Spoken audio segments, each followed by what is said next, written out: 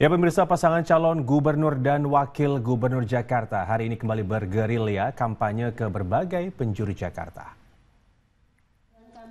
Calon gubernur Jakarta nomor urut 1 Ridwan Kamil Jumat pagi bersilaturahmi dengan pengurus gereja Huria Kristen Batak Protestan HKBP di kawasan Cakung, Jakarta Timur. RK sampaikan tiga program untuk umat Kristiani bila terpilih sebagai gubernur Jakarta. Pertama, meningkatkan jumlah guru agama Kristen di sekolah negeri, lalu memfasilitasi para pengurus gereja dan pendeta yang ingin ke Yerusalem, dan ketiga, melengkapi kebutuhan untuk kegiatan sekolah minggu.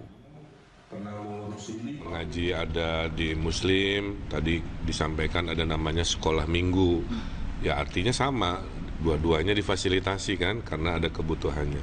Itulah prinsip pemimpin yang berkeadilan uh, untuk melahirkan masyarakat yang toleran Sementara itu, Cagup Jakarta nomor urut 2, Dharma Pongrekun menggelar nonton bareng Timnas Indonesia versus Bahrain bersama puluhan relawannya di rumah pemenangannya di Jalan Pangeran Antasari, Jakarta Selatan, Kamis malam. Selain ingin lebih dekat dengan relawan dan warga, Dharma ingin menjadikan sepak bola sebagai contoh gotong royong yang luar biasa. Gotong royong menjadi jargon Dharma dalam kampanyenya untuk membangun Jakarta itu bisa menjadi contoh bagi dunia bahwa bangsa Indonesia itu ada karena sifat gotong royongnya. Oleh sebab itu, sepak bola merupakan contoh yang baik untuk dijadikan ikon daripada gotong royong.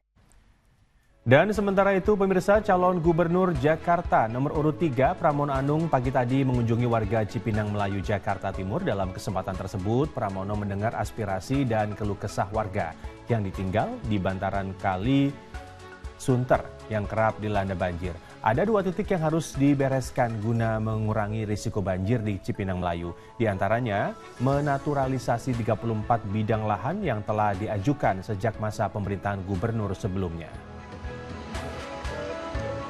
mengajukan untuk segera ditangani.